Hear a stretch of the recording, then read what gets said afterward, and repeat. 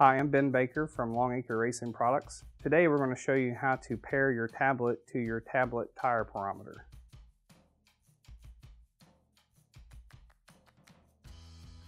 In the instance your tablet becomes unpaired from your pyrometer, you'll need to do the following steps to get it paired again.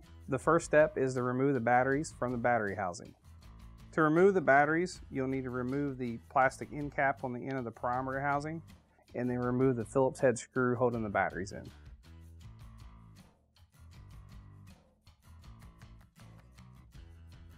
Once you've removed the batteries, you can then reinstall the batteries.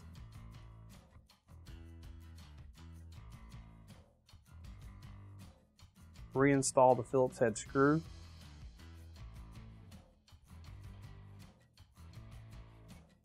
And then reinstall the plastic cap on the end of the pyrometer housing. Once the batteries have been replaced, go to the home screen on the tablet, pull down, and click on Settings. Tap on Bluetooth and turn Bluetooth on.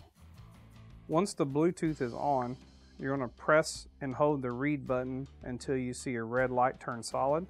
Once it turns solid, you're going to release the read button, press and release the read button again quickly. From there, the tablet will prompt you to pair and click OK to pair. Once the device is paired, open the Tire Pyrometer app and ensure you're receiving data. If no data is being received, you will need to re-enter your system ID. To enter your system ID, you're going to want to swipe to the settings page and click on change next to the secret code box. Click on change code. You can then remove the old code and enter the new code. Once you've entered the new code, swipe from left to right to the memory tire pyrometer page and ensure you're receiving data. If you are not receiving data, you'll need to repeat the process from the beginning. For more information on this or any other of our Longacre Racing products, visit us at longacreracing.com.